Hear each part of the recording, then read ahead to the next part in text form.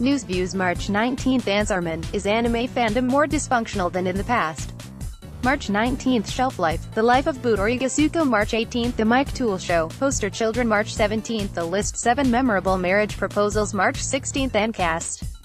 Scotland loves anime March 15th This week in anime, The Ancient Magus Bride soars to new heights March 15th This week in games, apply Nintendo directly to the forehead March 13th Vice.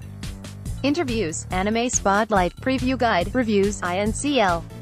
Game Reviews, Columns, INCL. Anime News Nina, ANN TV, ANNCast, Answerman, Astro Toy, Brain Diving, Buried Treasure, Chicks on Anime, Crashing Japan, The Dub Track, The Edit List, Epic Threads, From the Gallery, High Fidelity, House of 1000 Manga, I'm a Korgaho Shinda, Old School, Pile of Shame, Right Turn Only, Shelf Life, Sound Decision, Subculture, Super Plastic, Tales of the Industry, Tankabon Tower, The Click, The Gallery, The List, The Mike Toole Show, The Set List, The Stream, The X Button, This Week in Anime, Vice. Industry comments, posted on the 17th of March 2018 0000 Eastern Daylight Saving Time by Rafael Antonio Pineda Sega opened an official English website for its Valkyria Chronicles 4 game on Thursday. The site reveals that the game will ship for the PlayStation 4, Xbox One, and Switch in North America and Europe this fall. The site also lists a spring 2018 release date for Australia, and Sega clarified with ANN that the release will be in Australia's spring, during the fall period in North America and Europe. The game is slated for the PlayStation 4 on March 21 in Japan, and on the Nintendo Switch in summer in Japan. A Japanese demo is available now for the PS4.